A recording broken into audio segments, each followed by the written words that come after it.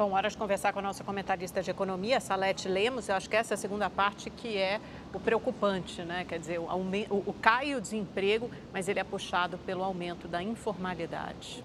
Aliás, existe um equívoco aí, Amanda. É, não existe emprego informal, existe trabalho informal. Então, o que cresce é esse tipo de contratação que é totalmente informal.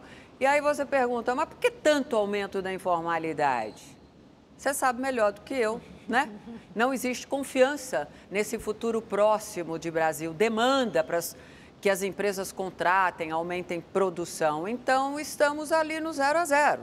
Boa noite, Amanda. Boa noite, Boa noite Boris. Boa noite, Sarah. Boa noite a todos que nos acompanham aqui. Na verdade, você viu aí, é metade. Nós temos metade dos trabalhadores brasileiros na informalidade. E falta de confiança, falta de um projeto político é grave, hein? 50% de trabalhadores na informalidade.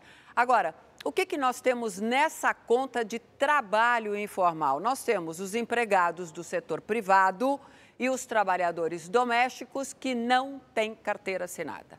São trabalhadores que trabalham por conta própria, ou se não, empregadores que não têm o CNPJ Aqueles que também trabalham ajudando parentes, são milhares de pessoas.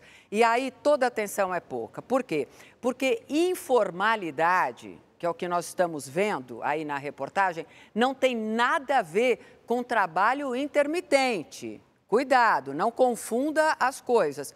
No contrato de trabalho intermitente, o trabalhador é remunerado de maneira proporcional, ok recebe apenas pelas horas trabalhadas, mas ele tem registro em carteira, tem direito trabalhista, tem férias, tem décimo terceiro, tudo proporcional ao que ele trabalha. Já nesse trabalho informal, aí, gente, não tem nada disso.